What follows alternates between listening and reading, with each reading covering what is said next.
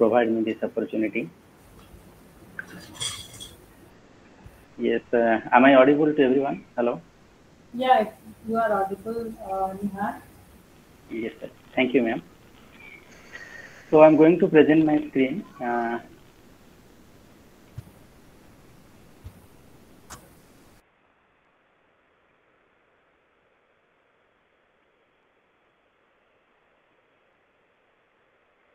okay. so I think uh, my screen is visible to everybody. Yeah, it is visible. Yes. So first of all, um, good afternoon, everyone, participants, professors, and others. And uh, thank you, ma'am and Swapnil, to provide me this opportunity. So today my presentation will be based on the 5G applications using Tarang numerical software. So these are the evolutions from 1G to 5G. I think, uh, hope uh, you all this uh, know already. So I'm just uh, only for formal discussion, I'm going to with a momentum with this. So in 1G, we are getting only calls 2G, 3G, 4G. So now we are at the 5G. So currently 4G is going in where video, gaming, mobile, everything is going on based on the uh, this OFDMA means a frequency division multiple access, uh, access and SCFDMA which is based on LTE and LTE advanced technique. So currently these are the frequency bands. So for the GSM, uh, we started using from 600 megahertz to 6 gigahertz for 5G LTE 1.8 to 6 gigahertz, then 5G MM 24 to 40. So like that, near field communication, GNSS for RFID application.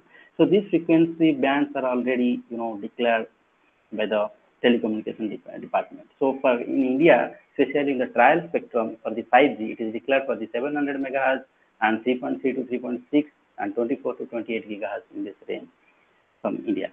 So what are the benefits of the 5G? If you see the benefits of 5G, so we can make a smart home, logistics shipping, smart cities, industrial IoT, healthcare application, you know, autonomous driving. So those facility can be available with the 5G due to the large bandwidth. So now, main question is what is the requirement of 5G? You know the facility, but currently what is the going on? That is the end. But for, but why we require the 5G? So if you do, uh, see the first point, then IoT and mobile will be more than 50 billion by 2021 and IoT device due to the scientific research and social media will increase the internet traffic and it will be nearby 40 petabytes per year. So it will be huge. So due to this YouTube video loading, Insta photograph, Facebook, social media, due to this, so nearby 2.5 quintillion bytes of data is, are uploaded every day. So therefore, the research community from the 2012 onwards, they started uh, researching about the 5G network. So this is why due to this large data and large user, huge number of users, we require the 5G. So if you see the back towards the research, then you can get the 389 number of journals published in IEEE Xplore and 588 journals in the ScienceDirect. So this is excluded from the conferences paper. This is all about only letters and journals. So by the focusing on the requirement of 5G, what are the challenges before us? If you see the massive growth in mobile data and higher data rates for users, massive growth in connected devices, higher energy efficiency, low latency rate, and cyber security. That is, this is a very sad because of uh, you know large number of users and use bandwidth, we can get cyber threat. So there will be chance for data uh, theft and you know personal information loss. That can be a chance. So how to control these things? So these are the key solutions you can see for the 700 megahertz. These are the basic coverage where we can generate because to wirelessly connectivity is the main part is the antenna. Wireless component is antenna or Bluetooth those, uh, for hotspots. So that is the main part. Root part is the antenna. So if you see the 700 megahertz for basic coverage, coverage 3.5 gigahertz for high data rate service and capacity, 24 to 28 gigahertz for fiber like data rate and capacity. So nowadays, massive MIMO antennas also you know may requirement for beam forming, especially for the 5G application. Massive growth of connected devices, low latency. So these are the key solutions and challenges and requirement of the 5G. So now introduction to current solutions for 5G analysis. So based on the requirement of that, we targeted two things specifically. First of all, the mobile antenna design within the 3 to 10 gigahertz and 24 to 30 gigahertz. So in this higher range of frequency, our solver is able to solve this kind of problem. So base station antenna design, you can say 24 to 28 uh, gigahertz. So our the main primary focus is the machine learning implementation in antenna parameter optimization. You can see the antenna parameter optimization. So we are target, specially targeting to calculate the input impedance, radiation resistance, effective dielectric constant, feed location, size of the antenna, and safe generation. If you, so safe generation, it is under the research now. We are generating, we are developing a deep learning model. If you give the antenna, all antenna parameters like efficiency, gain, uh, frequency range, and uh, what will be your polarization, those things, then that model will give you the exact safe generation. By doing that, you can generate your particular data. So this is why we are de developing because nowadays, you know, to get the proper aspect for a proper size, proper polarization, everything to have a, uh, you know, proper design, uh, researchers are going to use their most of time. So that's why to reduce that most of the time we are developing these models and we are trying to implement in our software for that users get uh, uh, get their uh, aim within by wasting very less time. So this is why we are developing this kind of machine learning implementation. So what is the design requirement you can say?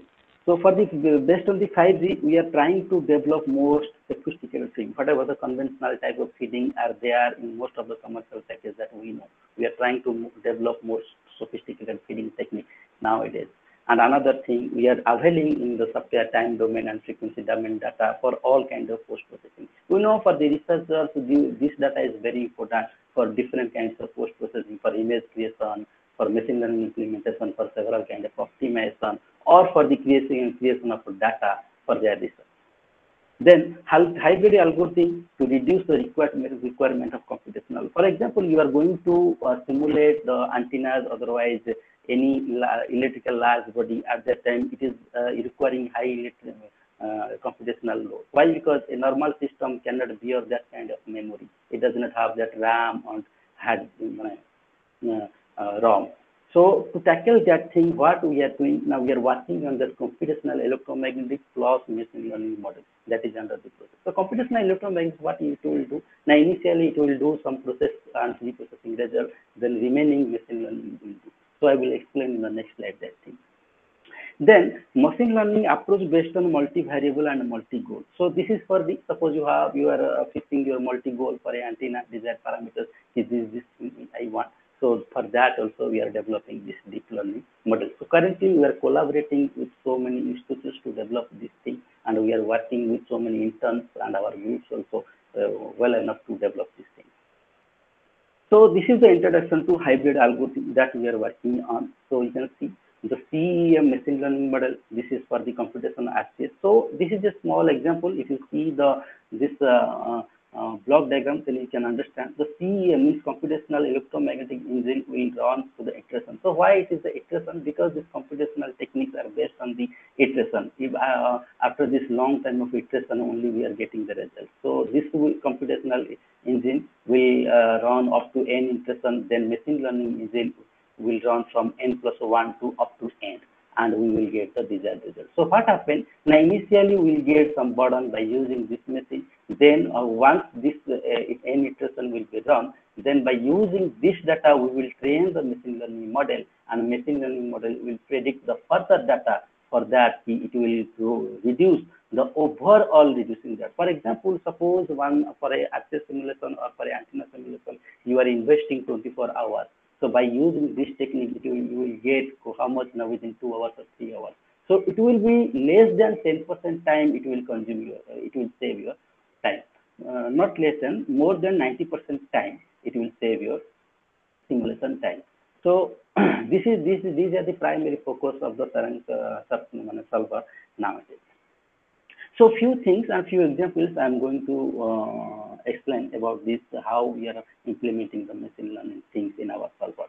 So if you see, this is a uh, machine learning model for various uh, machine learning model. This is a multi-layer microstrip transmission line where we have assigned epsilon 1 and epsilon 2 and our network this is a neural network model. You can see this is multi-layer for certain model.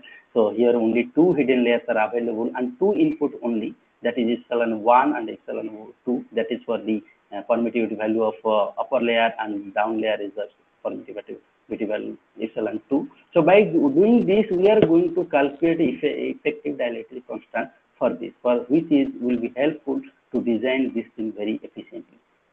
So these are the uh, tabular things you can see. Our whenever our epsilon one is this, epsilon two is this, the trend model we are getting 2.237 while the accurate value is 2.24, 2432. If you use if you see the error difference, the error difference is very less. So like this, we are doing that because the user also access, uh, user will be uh, that access that uh, they can generate their own machine model by using available training algorithms and models. Uh, otherwise, they can use also trained model, whatever we have implemented, we will give in the solver. They will directly generate data by using the trained model. So this is our focus. So these are the few things. This paper already we have uh, published uh, and that is under the process now. So uh, if you see, uh, this is also another a simple thing, machine learning model to predict the radiation resistance of a dipole antenna. If you see, the this thing is the neural network model. We have taken here three hidden layers, one input layer and one output layer. So I am not going into the neural network detail because this is all about the only software, uh, whatever the features are available. So if you see the things, the machine learning and the Tarang result. Tarang result means it is the Tarang uh, result by numerically we have generated this thing. And the machine learning prediction with Tarang result is heavily accurate. If you see the radiation resistance is quite accurately predicted by our developed machine learning model. So this thing also we can do to reduce our you know simulation time. And this is about the multi-band branch antenna. So after that uh, machine learning model, few things I am going to explain about the 5G application antennas. So this is about what Swapnil has uh, shown. this thing, this is a simple antenna, uh, just a microstrip antenna. This is you can say multi-band antenna from 3 gigahertz to 10 gigahertz. If you see the S11 parameter, you can see it has four bands continuously. One is at 3.6, another is at 6.1, another is at 8, another is at 10. So this is uh, 3.6 is well applicable for the mid 5G band antenna and 6 uh, gigahertz it is uh, well applicable for uh, nearby you know high WiMAX application. So this is also so uh, we can have this uh, antenna. So this is due to these plots we are making based on the antenna. So we are um, making these plots. So that's why we are getting multiple resonances here. So whatever the result, if you see the current, so this is about the sample current what we have collected at the port. And if you see it is properly attenuated and this is about the sample voltage. The red one is the incident signal, whatever you are using as a source at the port. So this is all about the radiation pattern. So now this is a quad band RFID antenna. This is our recent publication in IEEE. so this band is specially designed for the three RFID band and one is the GPS, GPS antenna. So this is the four frequency 0.9 gigahertz, 1.6, 2.4, 5.8. For RFID applications, 0.9, 2.4 and 5.8 gigahertz is applicable and 1.6 band is for the GPS application. So nowadays with a single antenna in mobile, multiple features are there, GPS, hotspot, Wi-Fi, every features are there. To uh, work with a single antenna to perform it better, we need a efficient antenna. Design. While that we can say efficiency will be should be high, the multi bands uh, should be there for using with a single antenna. For that, a mobile size will be less, otherwise space will remain. We can attach any more things in the mobile. So by targeting that, we are we are we are trying to develop the multi-band antenna. So these things we are doing. so this is about the microstrip antenna operating at 24.5 uh, gigahertz. So this is uh, for the 5G exactly, which is from the 24 to 40 gigahertz application. So this thing, this is only a simple antenna for a microstrip antenna. Based on the lambda calculation, we have done this thing. and by using this uh, 0.787 height of the uh, substrate, bearing the value only 2.2 epsilon value, so exactly you can see the S11 parameter, the radiation pattern, it is having very good gain also nearby 7 dB. So this is the current, sampled current if you see. So these things we are doing by using time domain solver.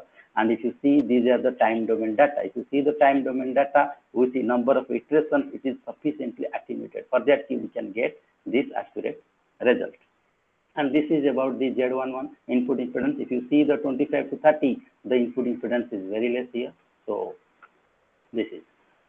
So uh, in the next slide, this is for the single band wearable antenna. So few examples what we have simulated by using a by showing only so different kinds of design uh, uh, our uh, our solver is able to solve.